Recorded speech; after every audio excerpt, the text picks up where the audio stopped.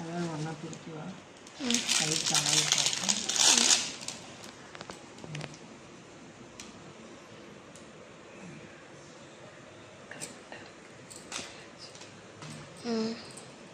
Quality நல்லா இருக்குல்லம்மா. Rate ரேட்டும் ரீசனபிளாக இருக்குல்ல? அந்த கிளிப்பான வச்சு இருக்காங்க.